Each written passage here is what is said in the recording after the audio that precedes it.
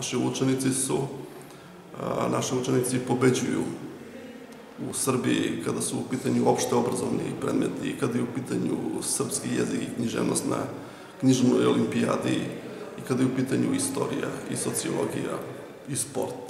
Dakle, ne samo stručni predmeti. Ne samo stručni predmeti, recimo, prošle godine imali smo prvo i drugo mesto iz istorije, ove godine dva treća mesta.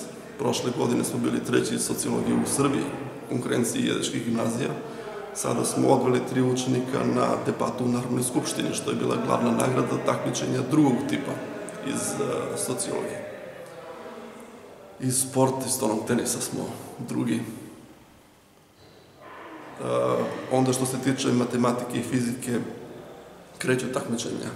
Naši djaci stižu i otprilike su do sada na sredini u Republici.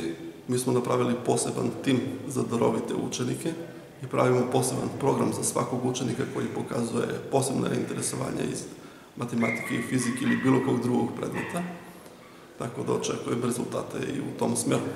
A što se tiče stručnih predmeta, osvojili smo drugu nagradu iz elektrotehnike, osvojili smo prvo mesto u Srbiji iz saobraćaja, osvojili smo dva druga mesta iz mehatronike, dva, dva druga mesta kada je u pitanju programiranje mikrokontrolera. To je sve usko vezano za, za industriju.